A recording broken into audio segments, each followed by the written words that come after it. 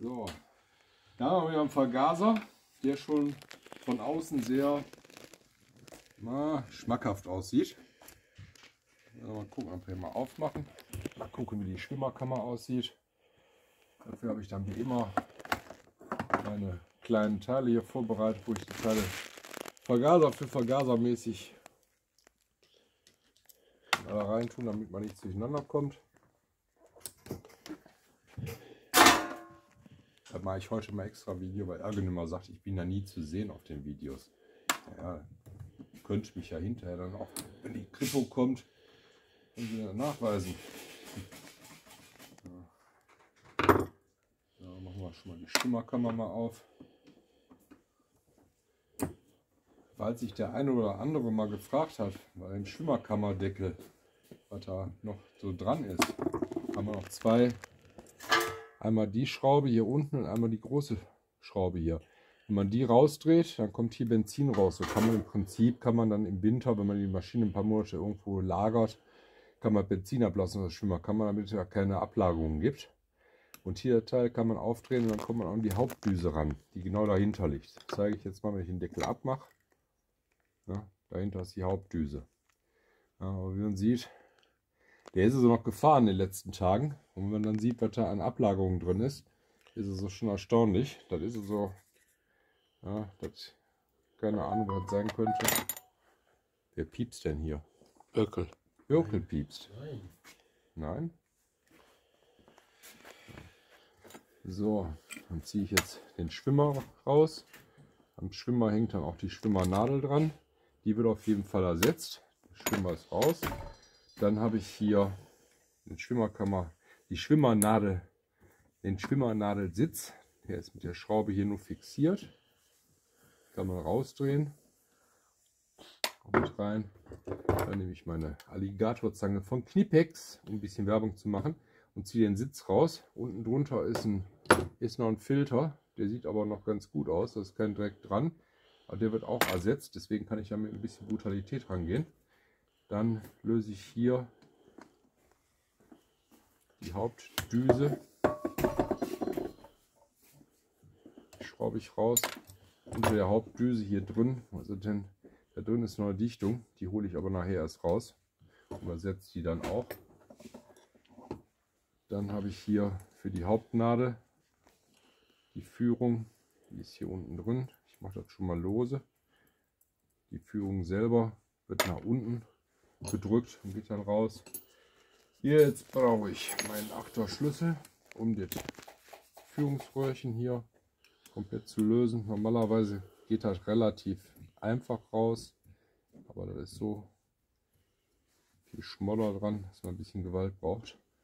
Da ist auch eine kleine Unterlegscheibe drunter. Die sollte man, braucht man nicht ersetzen, nur sauber machen. Dann das Beschleunigungs Düschen hier an der Seite rausmachen. Die mache ich zwar mit sauber, wenn die jetzt wie die hier einigermaßen offen sind wäre, dann würde ich die da drin lassen, würde ich die nur reinigen. So wird die also auch ersetzt. Und man sieht, es ist ziemlich viel Schmodder und Dreck in der Kammer. Das lässt dann nicht viel Gutes schließen. Hier war schon eine Schraube gelöst, dadurch, dass da eine Halterung vom Vergaserblock dran war Schraube erstmal wieder reingetan, damit die drauf passt.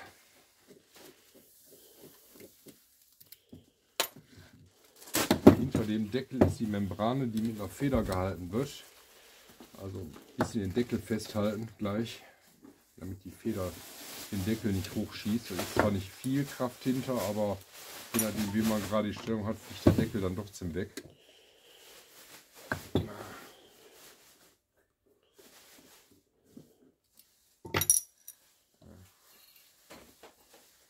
geht noch, da ist keine Ablagerung hinter. Hier sieht man aber den Schmodder, der schon extrem drin ist. Da wird alles dreckig sein. Die Hauptnadel selber sieht eigentlich noch gut aus. Ja, aber Dreck ist auch da drin. Wir hatten bei den Patienten, weil der, weil der Vergaser im Block gekauft worden ist, haben wir damals beim Einbau gesagt, gut, wenn er läuft, ist gut, dann gehen wir nicht ran ans System. Der sah eigentlich auch ganz äh, einigermaßen manierlich aus. Hätte klappen können, dass er vielleicht noch längere Zeit fährt. Darum hatten wir hier nur die Hauptnadeln gewechselt. Da ist jetzt noch eine Dichtung drin und eine Unterlegscheibe. Die möchte meistens nicht so ohne weiteres rauskommen. Dafür habe ich dann irgendwo noch eine, eine Spitze liegen, da ich die rausholen kann. Raus ist sie. Birkel braucht nicht mehr suchen. Dann haben wir noch eine Luftdüse hier unten. Die ist zwar selten, dass die zu ist, aber auch ruhig rausschrauben und einmal mit sauber machen. Dann hat man das auch hinter sich.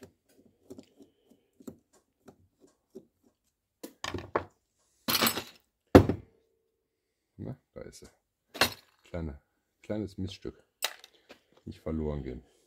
So, jetzt ist das Teil raus. Jetzt kann man hier eben ein bisschen am Rand das Teil vorsichtig runterdrücken. Dann ist die Führung von der Hauptnadel dann auch raus.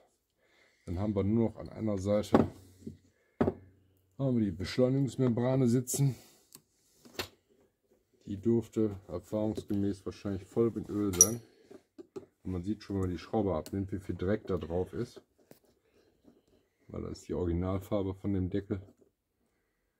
Da liegt auch eine Schraube hinter, deswegen, eine äh, Mutter hinter, deswegen auch vorsichtig abnehmen, weil die ist ziemlich kräftig. Die ist also hier schon ziemlich verölt. Dann vorsichtig die Membrane hochziehen.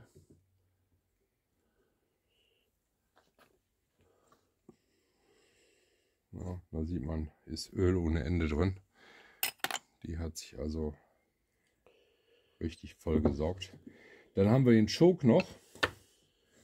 Beziehungsweise nennt sich bei Yamaha dann die Starteinheit.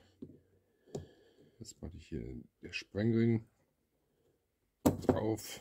Na, der möchte jetzt nicht so wie ich will. Das ist meistens so bei den kleinen Teilen. Muss nur ein bisschen nach hinten geschoben werden. Dann kann ich ihn vorsichtig rausnehmen. Die Halterung. Nehme den kleinen Sprengring raus. Die Hülse ist hier drin. Da kommt das Gestänge vom Schokzug. Hängt da mit drin. Dafür habe ich dann eine 12er Nuss. Habe ich mir extra ein bisschen dünner geschliffen. Weil sonst passt die nicht drauf und anders kommt man nicht ran. Kann man die rausnehmen.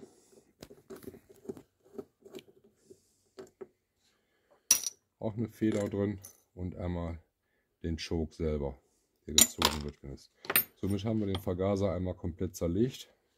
Hier auf der Seite kommt normalerweise noch der Poti drauf. Den habe ich aber auch mit abgeschraubt, damit wir den richtig überprüfen einstellen können. Und das wäre jetzt der Lichtvergaser. Und von den Teilen kommen folgende Sachen ins Bad.